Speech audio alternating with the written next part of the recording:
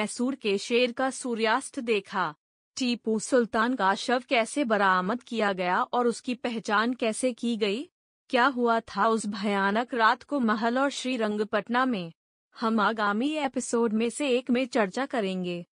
इस कड़ी में हम टीपू के अंतिम संस्कार और उसके तुरंत बाद क्या हुआ पर प्रकाश डालेंगे। भारतीय इतिहास के अनकहे लम्हों की एक और कड़ी के साथ इस चैनल में आपका स्वागत है। श्रीरंगपटना में माहौल भयावह और अराजक था। शहर के निवासियों, मैसूर सेना और ब्रिटिश सेना ने युद्ध के इतनी जल्दी समाप्त होने की उम्मीद नहीं की थी। एक विशेष समय में, युद्ध के दौरान ब्रिटिश कमांडरों ने आत्मसमर्पण करने का फैसला किया था। एक बार जब यह खबर फैली कि टीपू सुल्तान की हार हुई तो अनिश्चितता पैदा हो गई। तब तक टीपू का शव नहीं मिला अंग्रेज़ों को टीपू की मौत का यकीन नहीं था। इसलिए ईस्ट इंडिया कंपनी के सेना कमांडर इस खबर की पुष्टि करने के लिए टीपू के शव को खोजने के लिए बेताब थे। इस बीच, ब्रिटिश सैनिकों ने शहर को लूटना शुरू कर दिया। टीपू के सैनिक अब लुटेरों से अपने परिजनों और रिश्तेदारों की रक्षा कर रहे थे। मैसूर साम्राज्य के लिए काम करने वाले लोग जो ज़िंदा थे, वे खुलकर सामने आने से डरते थे। डेविड बियड ने महल के कुछ वफादार नौकरों की मदद से टीपू के शरीर की पहचान की। रात के करीब दस बज रहे थे। कर्नल आर्थर वे लेसली भी रात के अंधेरे में टिमटिमाती मशाल के साथ टीपू के शव के पास पहुँचे। वे लेसली को अपनी आँखों पर विश्वास नहीं हुआ। उसने पुष्टि करने के लिए टीपू की धड़कन और नब्ज की जाँच की। उथल पुथल भरे माहौल में टीपू के शव को पालकी में रखकर महल में ले जाया गया। पालकी आम और छोटी थी। टीपू को घुटनों के बल ऊपर की ओर झुकाकर पालकी में डाल दिया गया। महल दुख में डूबा हुआ था। महल के अंदर महिलाओं, रईसों, वफादार नौकरों और कुछ सैनिकों ने शरीर को घेर लिया। शरीर पर घावों को कुशलता से बांधा गया था, विशेष रूप से दाहिने कंधे पर।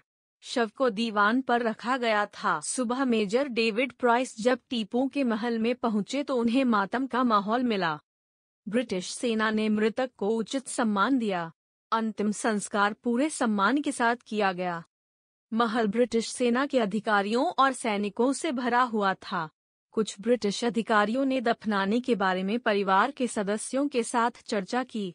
टीपू का दूसरा बेटा अब्दुल खालिक चाहता था कि टीपू को गुम्बज में दफनाया जाए। फैसले से सभी सहमत थे। अंतिम संस्कार की तैयारियों की देखरेख श्रीरंगपटना के प्रमुख काजी ने की। टीपू के शव को मलमल में लपेटकर जनाजे में रखा गया। जनाजा एक समृद्ध ब्रकेड कपड़े से ढका हुआ था। अओपीय सैनिकों की चार कंपनियों के साथ शव शाम को साढ़े चार बजे महल से निकला। दो कंपनियाँ आगे थीं, उसके बाद घोड़े पर सवार अब्दुल खालिक थे। किले के प्रभारी मीर नदीम सहित बड़ी संख्या में अधिकारी, स्थानीय लोग उपस्थित थे। काजी ने पवित्र कुरान की आयतों का उच्चारण किया और इसे सभी ने दोहराया। हालाँकि पूरा शहर शोक में डूबा हुआ था और ब्रिटिश सैनिकों की धमकी के बाद भी सड़कें निवासियों से पटी थीं। जनाजा पारित होते ही स्थानीय लोग रो रहे थे और साष्टांग प्रणाम कर रहे थे। गुम्बज पहुँचने पर ब्रिटिश सैनिकों ने एक सड़क बनाई और जुलूस के गुजरने पर हथियार पेश किए। अंतिम संस्कार की नमाज़ के बाद टीपू को उनके पिता के बगल में दफनाया गया।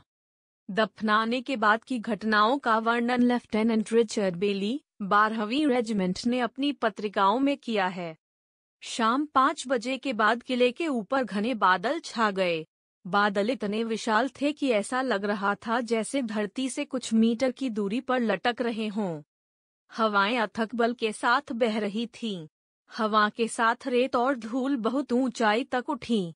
तूफ़ान के कहर से तंबू और मार्की बह गए। सब कुछ तूफ़ान के भंवर में बह गया। किले में गरज, बारिश और रोशनी ने तबाही मचा दी। तूफ़ान के प्रभाव के कारण ज़मीन में लंबी लकीरें बन गईं। तोप खाने की गोलीबारी की तुलना में गरज अधिक तीव्र थी। घोड़े, बैल, हाथी और ऊँट टूटकर हर संभव दिशा में भागे। अस्थायी अस्पताल और नियमित में घायल सैनिक तूफ़ान के कहर से बेहाल हो गए। कई घायलों को सुबह मृत पाया गया और उसके सहयोगियों को आघात पहुँचा। हर कोई तूफ़ान थमने की दुआ कर रहा था।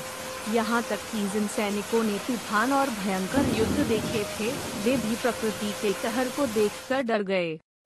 सुबह तक तूफ़ान थम गया, बादल अधिक ऊँचे हो गए, गरज और बिजली बंद हो गई और प्रकृति एक बार फिर से शांत हो गई। लेकिन तबाही सब तरफ़ थी। अगर आपको यह सब्सक्राइब करें। भारतीय इतिहास के भूले हुए और अनकहे पलों के बारे में अधिक जानने के लिए कृपया इस चैनल को सब्सक्राइब करें।